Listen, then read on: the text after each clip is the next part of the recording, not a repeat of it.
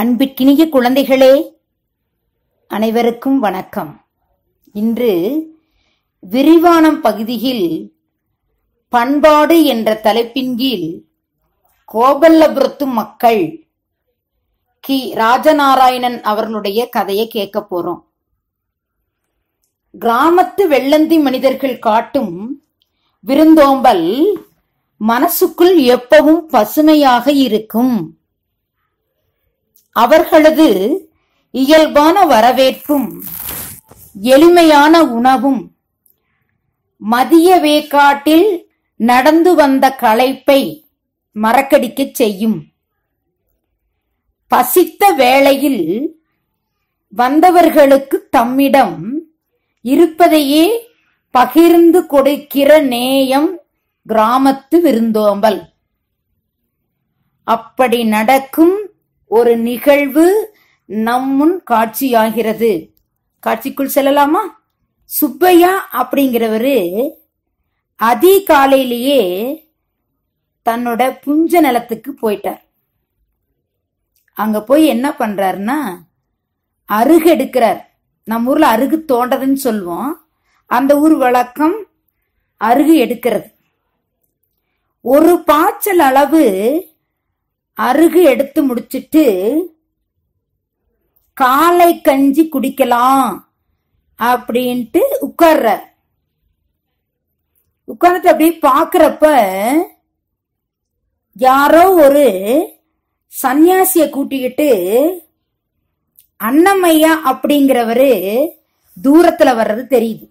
வாயில் இருந்த பல்குச்சிய சுப்பையா எடுத்துக்கிட்டு கேட்டாரு. யாரோ ஒரு சாமியாரை இழுத்துட்டு வர்றான் போல் இருக்கு அண்ணமையா? அப்படின்னு. அதுக்கு கொத்தாளி சொன்னாரு கொத்தாளி என்பவர் கூட மண்வெட்டி கொண்டு அருகு எடுப்பவர். வரட்டும் வரட்டும். ஒரு வயிற்றுக்கு கஞ்சி ஊத்தி நாமும் குடிப்போம் அப்படின்னார். அந்த புஞ்சன் ரோட்டோரத்துல இருக்கிறதுனால இந்த துறவிகள் எல்லாம் அந்த வழியா வர்றவங்களுக்கெல்லாம் வருவாங்க. வரவங்களுக்கெல்லாம் தண்ணீரோ கஞ்சியோ கொடுக்கற வழக்கம் உண்டு. அன்னமையா கூட வர்றது சன்னியாசியோ பரதேசியோ கிடையாது. வர்றவரு நடக்க முடியாம உட்கார்ந்து எழுந்து சோகமா வர்றாரு. அவரோட தாடி அழுக்கு ஆடை நடையின் தள்ளாட்டம் இதெல்லாம் பார்வைக்கு வந்து வயோதிகனாகவும் சாமியார போலவும் பார்க்க வைக்குது. தற்செயலா அந்த பக்கம் போன அன்னமையா கண்ணில் இவர் பட்டார் போய் அன்னமையா பக்கத்துல பார்த்ததுதான் தெரிஞ்சது அவன் ஒரு வாலிபன் என்று. அந்த வாலிபன் கால்களை நீட்டி புளிய மரத்துல சாஞ்சு அப்படியே படுத்துட்டு இருந்தான். அப்படியே அவனோட முகத்துல கண்ணுல ஒரு தீட்சண்யம் ஒரு சோகம் தெரிஞ்சது. அன்னமையாவை பார்த்த உடனே ஒரு சிறு புன்னகைய காட்டினா அந்த புன்னகையிலேயே தெரிஞ்சது அவனுக்கு பேசுறதுக்கு இஷ்டம் இல்லைன்னு. இது போல அந்த ரோடு வழிய நிறைய துறவிகள் வந்துகிட்டே இருப்பாங்க. லாட துறவிகள்னு வருவாங்க. அவங்களுடைய அந்த உடைய வித்தியாசமா இருக்கு. வேட்டியை இடுப்பில் கட்டக்கூடிய வேட்டி எடுத்து மார்பிள போட்டு முடிச்சா போட்டுக்குவாங்க. அந்த கோபல்லபுரத்து குழந்தைகள் எல்லாம் இந்த துறவிகள் மாற வேட்டி எடுத்து அப்பாவோட துண்டை எடுத்து போட்டுட்டு விளையாடுறது கூட இப்ப அன்னமையாக்கு ஞாபகத்துக்கு வருது. தன்னை பார்த்து ஒரு நேச புன்னையை காட்டிய அந்த வாலிப மனிதனிடம் போய் அன்னமைய வாய் திறக்காம நிக்கிறாரு. கொஞ்சம் அந்த வாலிபனுக்கு அலுப்பு தீர்ந்த உடனே அந்த வாலிபனே கேக்குறாரு தம்பி கொஞ்சம் குடிக்க தண்ணி கிடைக்குமான்னு. தமிழ்ல கேட்டான். கேட்டோம்னா அன்னமையாவுக்கு ஆச்சரியமாவும் சந்தோஷமாவும் போயிடுச்சு. இந்த பக்கத்துல அருகு எடுத்துக்கிட்டு இருக்கிறவங்க கிட்ட நீச்சு தண்ணி இருக்கும். நீச்சு தண்ணின்னா நம்ம ஊர் வழக்குல பழைய தண்ணி. அதை வாங்கிட்டு வரட்டுமா அப்படின்னு அன்னமையா கேட்டாப்ல அந்த வாலிபன் வாய்க்குள்ளேயே சொல்லிக்கிட்டான் நீச்சு தண்ணியா பார்த்துக்கிட்டு இல்லை நானே அங்க வர்றேன் அப்படின்ட்டு எழுந்தான் எழும்போது அன்னமைய கை ஒத்தையாசையா தூக்கி விடலான்னு பார்த்தப்ப வேண்டான்னு நன்றியோட சொல்லிட்டு தானே சிரமப்பட்டு எழுந்து நடந்தான். எங்கிருந்து வர்றீங்க? அப்படின்னு கேட்ட அன்னமையா அதற்கு பதில் இல்ல சிரிப்பு தான் சொல்றேன் அது இப்ப தேவைதானா? கொஞ்சம் பொறு அப்படிங்கிற மாதிரி அந்த சிரிப்பு இருந்தது. அண்ணமையா தோலை பிடிச்சுக்கிட்டு நடங்க அப்படின்னு சொன்னாரு. சிரிப்போட மறுத்துக்கிட்டு மெதுவா அவனோடய நடந்தான். அப்படியே நடந்து போயிட்டு இருக்காங்க போன ஒரு வேப்ப மரம் வருது. அந்த வேப்ப மரத்துக்கடையில நிறைய ஏகப்பட்ட மண் கலையங்கள் வச்சிருக்காங்க. கருப்பு கலையங்கள் கரிசல் காட்டு மண் அல்லவா? கருப்பு கலையங்கள் அந்த கரிசல் மண் கலையங்கள்ல அது கருப்பு மண் கலையங்கள்ல மேல மூடிய என்னன்னா பெ- கெட்டியான கல்லு கல்லு மேல மூடிய வச்சிருக்காங்க இல்லாட்டி இந்த சிரட்டை மூடிய வச்சிருக்காங்க. இந்த கலைங்களெல்லாம் மண்ணுல பதிச்சிருக்காங்க. ஏன் மண்ணுல பதிச்சிருக்காங்க? ஏன் கலையத்தோட வாயை மூடியிருக்காங்கன்னா காகங்கள் வந்து கஞ்சி கரையங்களை உருட்டி விடாமலும் அழகை நுழைத்து அசிங்கப்படுத்தி விடாமல் இருக்கு இந்த ஏற்பாடு அப்படின்னு இந்த மனுஷன் தெரிஞ்சுக்கிட்டான். அன்னமைய ஒரு கலத்தி கலையத்தின் மேல வைக்கப்பட்ட கல்லை எடுத்தான் அதுல ஒரு சிரட்டையில காண துவையலும் ஊறுகாய் இருந்துச்சு. மற்றொரு கலையத்துல மோர் மிளகாய் இருந்துச்சு. இதையெல்லாம் ஒரு சிரட்டை எடுத்து தூய்மைப்படுத்தி துடைத்து இன்னொரு கல கலையத்துல பதனமா வச்சிருந்த நீச்சு தண்ணி எடுத்து வடிச்சு கொடுத்தான். கொடுத்த உடனே இந்த வாலிபனுக்கு வந்து சப்பி குடிப்பதா அண்ணாந்து குடிப்பதா? என்கிற தயக்கம். இத புரிஞ்சுகிட்ட அண்ணமையா சும்மா கடிச்சு குடிங்க என்றான். உறிஞ்சும் போது கண்கள் சொருகின. மிடரு தொண்டை வழியாக இறங்குவதன் சொகத்தை முகம் சொல்லியது. அப்ப சன்னமையா சொன்ன உட்காருங்க உட்கார்ந்து குடிங்க என்று உபசரித்தான். உட்காருங்க உட்கார்ந்து குடிங்க என்று உபசரித்தான். இது போலவே இரண்டாவது சிரட்டை எடுத்து கொடுத்தான் குடிச்சிட்டு அனுபவித்து குடித்தான். குடித்து அவன் ம- ஒரு அவனுடைய உள்ளத்துக்குள்ள ஒரு ஜீவ ஊற்று பொங்கி நிறைந்தது. அந்த சிரட்டை திருப்பி கொடுத்துட்டு அப்படியே அந்த பசி ஆறுன இதுல இந்த வேப்ப மர நிழல் ஒரு சொர்க்கமா இருந்துச்சு. தென்னல் காற்று வீச அப்படியே அயர்ந்து தூங்கிட்டான்.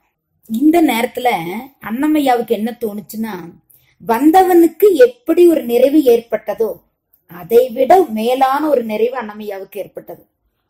மார்பில் பால் குடித்து கொண்டிருக்கும் போதே வயிறு நிறைந்ததும் அப்படியே தூங்கிவிடும் குழந்தையை பார்ப்பது போல அவனை ஒரு பிரியத்தோடு பார்த்து கொண்டிருந்தான் அன்னமையா அவன் தூங்கிட்டான். அன்னமையா சற்று முற்றும் பாக்குறான் ஆங்காங்க அந்த புஞ்சு நிலத்துல எல்லாம் தொகுதி தொகுதி எல்லாரும் அருகெடுத்துட்டு இருக்காங்க. அருகெடுத்துட்டு இருக்கிறவங்க அந்த அருகுப்படுத்துற பாட்டை பேசிட்டு இருக்காங்க. ஏன் அந்த அருகு அப்படி பாடுபடுத்துதுன்னா அருகு முளைத்து தலைந்து வந்தால் வேற நீங்க விவசாயம் பண்ண முடியாது. அதை தோண்டி எடுக்கிறதுக்கு ரொம்ப நிறைய ஆட்கள் செலவாகும். நிறைய நாட்கள் பிடிக்கும். அப்போ கூட ஒருத்தர் அங்க பேசிக்கிறாரு. கள்ளிக்கு ஒரு வெள்ளப்பூச்சியை கண்டுபிடித்த வெள்ளக்கார அருகை அழிக்கிற கண்டுபிடிக்கலையேன்னு.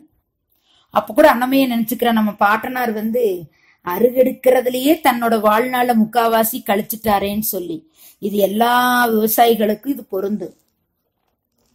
அன்னமையாவின் புஞ்சைக்கு பக்கத்துலதான் சுப்பையாவின் புஞ்சை இருக்கு. அங்கு போனால் சுப்பையாவும் இருப்பான்.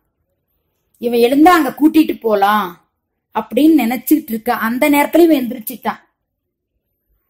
எந்திரிக்க மனசு இல்லாம படுத்துக்கிட்டே பேசுனா உங்க பேர் என்ன? உங்க ஊர் பேர் என்ன?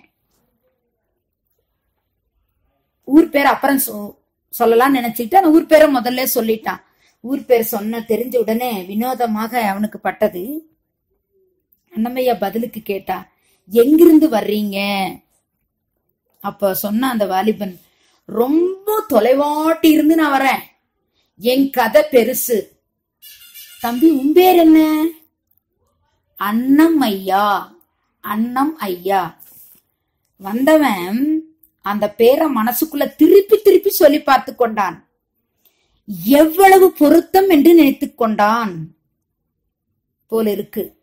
எனக்கு இன்று நீ இடும் அன்னம் தான் என் பசியை ஆற்றியது. அதுவும் பெயருக்கு பொருத்தம் நினைச்சுக்கிட்டான். அன்னமைய தயக்கத்தோட நின்னா அதை புரிஞ்சுக்கிட்டு சொன்னா என் பேர் பரமேஸ்வரன். இப்போதைக்கு அதை மறந்துருங்க. என் பேரு மணின்னு கூப்பிடுங்க. மற்ற என்னோட கதையெல்லாம் நான் சாவகாசமா சொல்றேன் அப்படின்னா.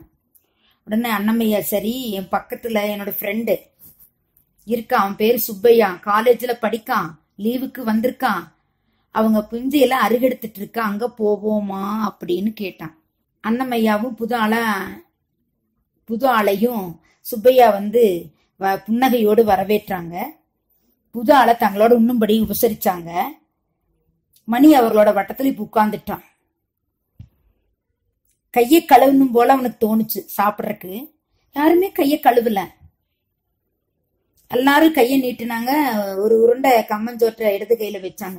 இடது கையிலா என்று தயங்கினான். எல்லாரும் இடது கையில தான் வச்சிருக்காங்க. இவனும் இடது கையில சோத்த வச்சுக்கிட்டாங்க. அதுல ஒரு சிறு பள்ளம் குழி தோண்டி அதுல துவையல் வச்சாங்க. அந்த துவையல் பட்டதோ படலையோ தொட்டு கமுக்கென்று முழுங்கினார்கள். இந்த முழுங்கும் போது யாருமே பேசிக்கல. ஏன்னா உணவு உண்ணும் போது பேசக்கூடாது இல்லையா அமைதியா சாப்பிட்டுட்டு இருந்தாங்க. இந்த வாலிபனுக்கு அது ருசியாக இருக்குமோ இருக்காது என்று அது அந்த நெடியா அவனுக்கு ஒரு வித்தியாசமா தெரிஞ்சது. இந்த அன்னமையா சுப்பையா கொத்தாளி எல்லாம் ஒரு உருண்டை சாப்பிட்டு முடிச்சுட்டாங்க. இந்த வாலிபனால அரை உருண்டை தான் சாப்பிட முடிஞ்சது. சாப்பிட்டு முடிச்சோன்னு இவங்க என்ன பண்ணாங்கன்னா மண்ணுல கைய கழுவிட்டாங்க. எப்படி கழுவிட்டாங்க? மண்ணுல கைய தொடச்சிட்டாங்க. சுத்தப்படுத்திட்டாங்க. எல்லாம் சாப்பிட்டு முடிச்சுட்டு இப்படி ஓய்வு உட்காந்து கதை பேசினாங்க. சுண்ணாம்பு கேட்கறக்கு தீப்பெட்டி கேட்கறக்கு பக்கத்து தொகுதிக்கு போனாங்க. நம்ம மணி என்ன பண்ணாருன்னா அப்படியே படுத்து அமைதியா கண்களை மூடி கிடந்தார். இந்த கதையில என்னென்ன வட்டார வழக்கு சொற்கள் எல்லாம் இருக்குன்னா பாய்ச்சல் அப்படின்னா பாத்தி பதனம் கவனமாக நீத்துப்பாகம்னா மேல் கஞ்சி கடிச்சு குடித்தல்னா வாய் வைத்து குடித்தல். மகிழி சோற்று கஞ்சி. வரத்துக்காரன புதியவன் ஸ்ட்ரேஞ்சர் சடைத்து புளித்துன சலிப்பு. அழுக்கம்னா அழுத்தம். தொலைவாட்டின தொலைவில் அர்த்தம் தூரத்துல. அப்படின்னு அர்த்தம். இந்த கதை உங்களுக்கே தெரிஞ்சிருக்கு விருந்தோம்பலை தான் சொல்லுதுன்னு. இது எப்படிப்பட்ட விருந்தோம்பல்னா பசித்தவர்க்கு உணவிடும் அறச்செயல் விருந்தோம்பல். விருந்தோம்பலே ரெண்டு பாருங்க. விருந்தினருக்கு உணவிடுதல் பண்பாடு பசித்தவருக்கு உணவிடுதல் அறச்செயல். இந்த விரிவானம் கதைய நல்லா உள்வாங்கியிருக்கீங்க. இந்த கதையிலிருந்து என்ன ஒரு கேள்வி கேட்பாங்க தெரியுங்களா? அந்த கேள்வி நல்லா கவனிங்க. அன்னமையா என்னும் பெயருக்கும் அவரின் செயலுக்கும் உள்ள பொருத்தப்பாட்டினை கோபல்லபுரத்து மக்கள் கதைப்பகுதி கொண்டு விவரிக்க.